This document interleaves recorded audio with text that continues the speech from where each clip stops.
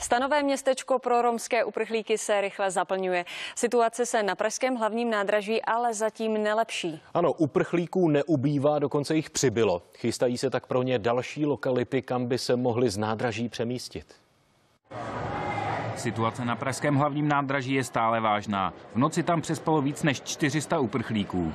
Podle dobrovolníků z pražského hlavního nádraží se situace zatím příliš nezměnila. Dnešní noc opět strávilo přes 100 uprchlíků v těchto místech, kde spali na zemi. Pořád vnímáme, řekl bych, nějakou jako nedostatečnou součinnost vlády nebo státu, institucí a, a pořád mám pocit, že tady tak nějak zůstáváme sami na tu práci. Doufám, že vlastně to řešení ze strany vlády a ze strany ministerstva vnitra tak se posune dál a už to nebude prostě jenom o tom, že se přijde podívat a zjistí, jak špatný to je. Doufám, že prostě najdeme nějaký konstruktivní řešení celé téhle situace. Ministr vnitra je ale přesvědčen, že vláda dělá, co může. Mě líto každé mámy, která leží na hlavním nádraží s dítětem a mě úplně jedno, jestli je to máma maďarská, ukrajinská, romská, česká. Ta tam prostě nemá ležet. Proto děláme všechna opatření, aby tam ty lidi neleželi. Jenže vznik stanového městečka v Troji zřejmě problém nevyřeší. Jen za první den se místa zaplnila z poloviny a úplné zaplnění se předpokládá z počátku příštího týdne. Ta stanová městečka je takové záložní řešení, moc dobře to nevypadá, ale je to samozřejmě mnohem lepší,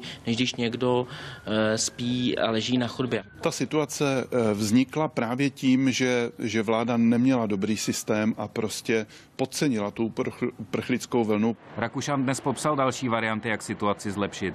Plánují se změny v systému uprchlických dávek a jsou také v Praze vytipované dvě nové lokality, kam by se mohli běženci přemístit. Celkem ty dvě nemovitosti by třeba dali dohromady dalších 150-200 míst a už se dostáváme zase na nějaké číslo, které uleví. Ale první je přeci zamezit tomu, aby ty proudy lidí měly motivaci do České republiky přijíždět. Podle našich informací by jedno ze dvou míst pro romské uprchlíky mělo být v pražských Malešicích. Pošta tady má velké depo a vedle něj zasíťované pozemky. Šimon Pilek a Matěj Říha, CNN Prima News.